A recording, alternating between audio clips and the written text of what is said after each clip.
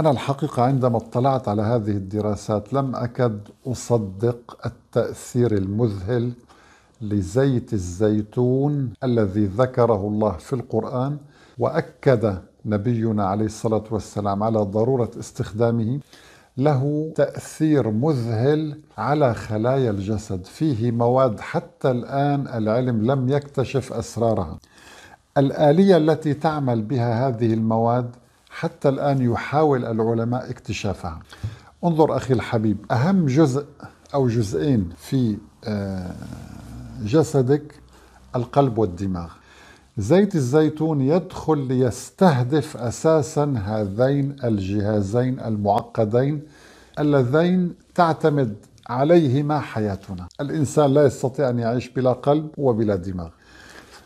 زيت الزيتون أخي الحبيب فيه مواد صديقة للقلب يحبها القلب. مواد أيضا تحبها الخلايا العصبية. الخلايا العصبية ثروة. كل خلية عصبية من المئة مليار خلية عصبية التي خلقها الله في دماغك هي كنز. لماذا؟ لأن خلايا الجلد تتجدد. خلايا ال ال ال الأمعاء تتجدد. خلايا الدم تتجدد ولكن الخلايا العصبية لا تتجدد. تحتفظ بالذاكرة تحتفظ بالذكريات تعالج المعلومات. فيها أحلامنا وأسرارنا وحياتنا وعلاقاتنا موجودة في هذه الخلايا. فمن الضروري جدا الحفاظ عليها. لذلك هناك ما يسمى بالشيخوخة المبكرة.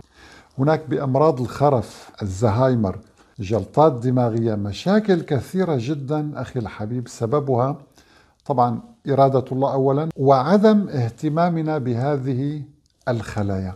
زيت الزيتون سبحان الله الخلية العصبية تحبه.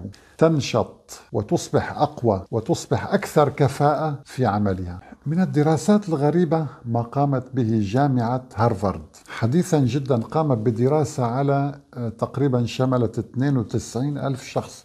دراسة كبرى يعني دراسة عالمية.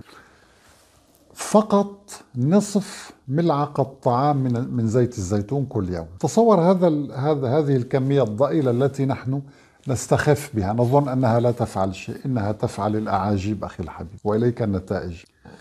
تبين أن استهلاك نصف ملعقة من زيت الزيتون كل يوم على مدى طبعا فترة التجربة خفض احتمال الموت بسبب أمراض القلب بنسبة 19% طبعا الأعمار بيد الله ولكن هذه الأعمار لها أسباب. الله تعالى يقول نحن قدرنا بينكم الموت يعني جعلنا له أسباب. فمن أسباب الموت أنك أنت تهمل زيت الزيتون الذي أمر النبي به. النبي صلى الله عليه وسلم يقول كلوا الزيت وادهنوا به فإنه من شجرة مباركة. والله عز وجل ربط نوره بالزيتون. الله نور السماوات والأرض مثل نوره كمشكاة فيها مصباح المصباح في زجاجة.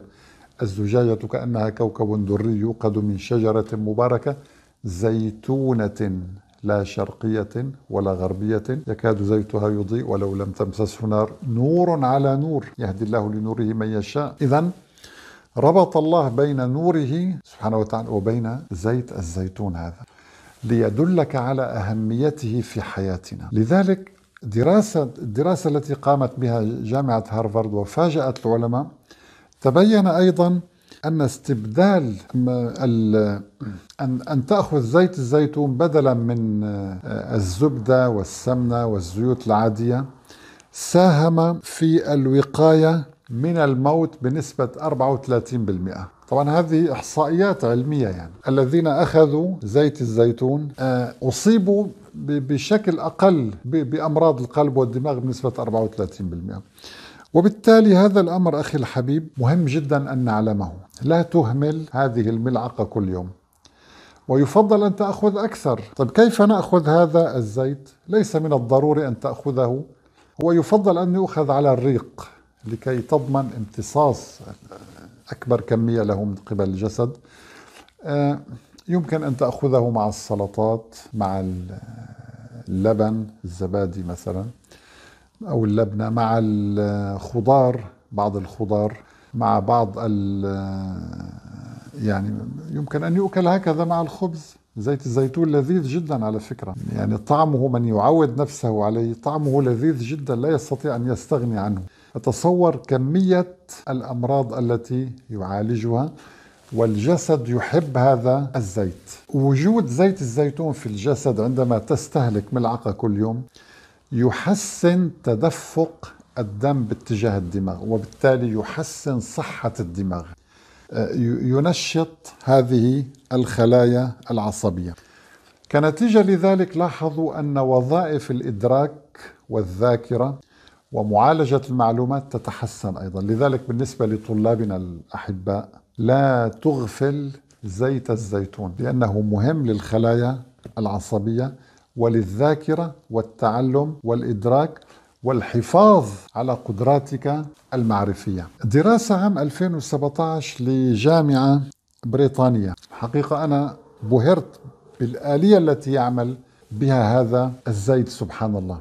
فيه حمض اسمه حمض الأوليك. ما هذا ما هذا الحمض؟ هو حمض دهني أحادي غير مشبع. نحن نعلم أن الدهون غير المشبعة صديقة للأمعاء وصديقة للجسم بشكل عام. هذا الحمض أخي الحبيب يستهدف البروتين المسبب لسرطان الدماغ فيوقف نشاطه. سبحان الله آلية دقيقة جدا.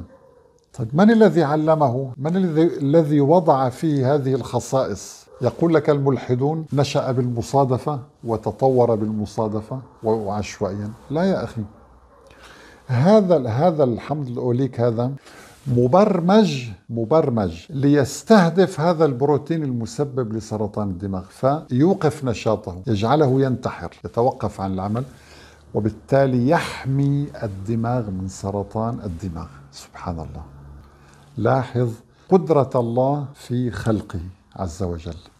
هناك دراسة الأولى من نوعها أجريت عام 2023 تبين أن زيت الزيتون يقي من الموت بسبب الخرف أو الزهايمر بنسبة 28% طبعا هذه أرقام إحصائية نحن قلنا الموت بيد الله وما كان لنفس أن تموت إلا بإذن الله ولكن الله يضع أسباب. هناك أسباب كثيرة للموت أخي الحبيب.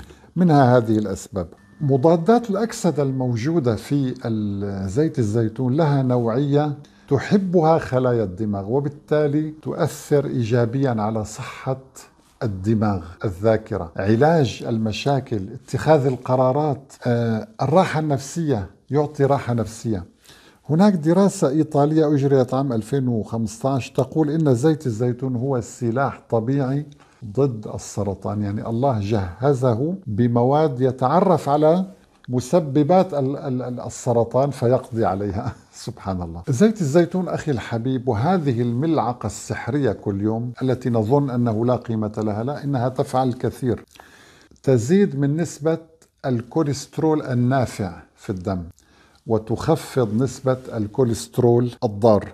وتمنع تخثر الدم. هناك مواد في زيت الزيتون تمنع تخثر الدم وبالتالي تصبح حركة الدم أسهل وهذا يؤدي للوقاية من الجلطات القلبية. إذا هنا أخي الحبيب لابد أنا أنا كإنسان مؤمن بالله عز وجل وإنسان أستخدم عقلي بشكل علمي أن أتوقف عند هذه المادة التي خلقها الله. شجرة الزيتون موجودة منذ مئات الملايين من السنين ليست حديثة ولكن الإنسان مخلوق حديث. طيب هل الطبيعة منذ ملايين السنين علمت أن هناك إنسان سيخلق على الأرض؟